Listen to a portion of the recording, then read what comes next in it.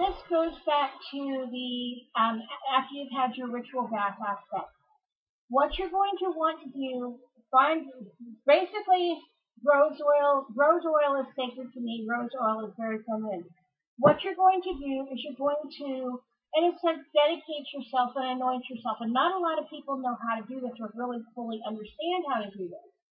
After you've gotten out of the tub, you're going to anoint your body uh, what's usually called the fivefold kiss. Um, or I've actually seen where they've actually put the um, triangle over the body, starting starting with the pubic area and working your way up.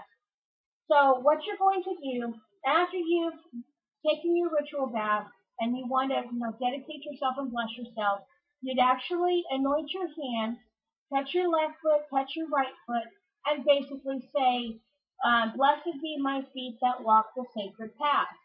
Then you would go from your left knee to your right knee, and you would say, Blessed be my knees that kneel at the sacred altar or kneel in the sacred temple.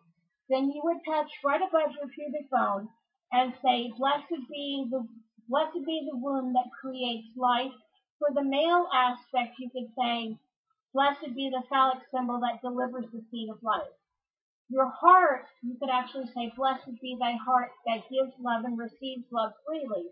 You could go to your lips and say, Blessed be are my lips that speak the truth of the Lord and Lady. Then you go to your ears. Blessed be are my ears that I may that I may hear the words of the God and Goddess or the ancient ones or whatever you feel feel worthy to say.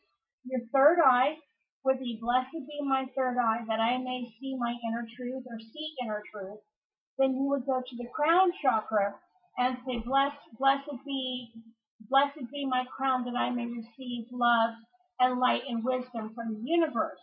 So in a sense, you've kind of created, you've actually blessed your entire body um, in a ritual that it's kind of like a self-dedication that you're that this is what I'm doing to help you know open up all the channels of communication for the spirit realms and whatever and, and blessing you as well. So um, the other one that you could do, I actually do this occasionally, is um, a chakra blessing. And that is you, after you get out of the bath, or usually in, I actually do one in the bath, you actually bring yourself to a center, to, to where you're at right now. Nothing else outside your bubble matters. It's all about what's right here, right now. And I put my hand over my root chakra and I say something like, um, blessed be my root chakra that keeps me firmly planted within Mother Earth. I go to my, uh, my reproductive center and I say, blessed be my uh, navel chakra that it brings life into the world and helps you create life. Then you go to your solar plexus and say something like, blessed be my solar plexus that it, that it stores the seed of my soul. You go up to your heart, blessed be my heart that I'm able to receive love and give love. You go to your throat, which is right here, and you could say, blessed be my throat chakra that I am able to speak my inner truth and you go to your your brow chakra or your third eye and the whole blessing the inner inner part of yourself and then go onto your crown. Um, either way, whatever feels comfortable to you, you can do that. And as I'm touching the chakra zone, I'm actually um, all of our chakras are the color of the rainbow. We all seven chakras reflect all seven colors of the rainbow. So you've got um, red, orange, yellow, You've got green, you've got blue, you've got purple, and you've got white. And so each time I touch, I see a bubble go around me and lock me into the red zone. I go to the orange. I see the orange go around me and lock me into the orange zone.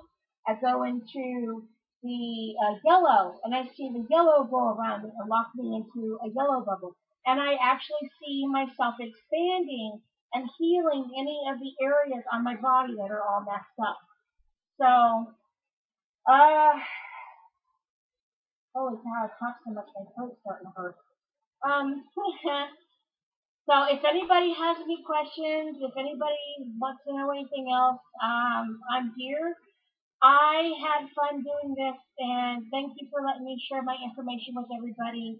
Um, lots of love and blessings to each and every one of you. And I want to say thank you for all the lovely comments that I've received on my new channel. And hopefully, if everything works out, I'm going to continue showing everybody rituals and actually sharing information about spellcraft. So thank you very much. Take care. Blessed be. Bye.